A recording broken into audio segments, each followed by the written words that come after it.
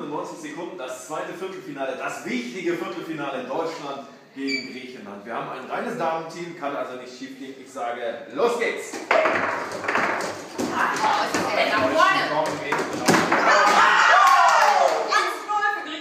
Aber da ist es schon passiert, ein früher Rückstand für die deutsche Mannschaft.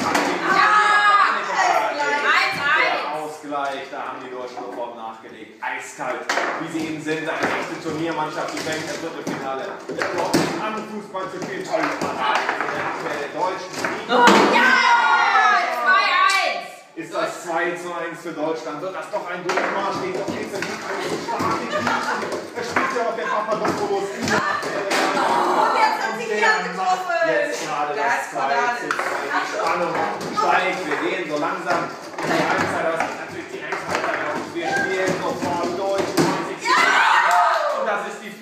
der Griechen. Und es sind noch 40 Sekunden zu spielen. 40 Sekunden noch, die Deutschen haben.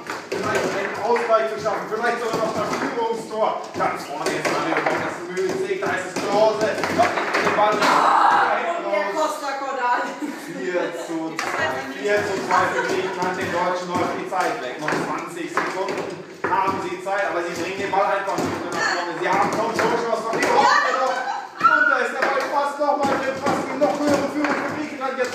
nochmal ein deutscher Angriff in den letzten 10 Sekunden. Und die Chance der Pfosten. Der Pfosten blendet für Griechenland. Jetzt spielen sie auf. Und das ist das 4 zu 3 für Griechenland. Und damit ist es aus.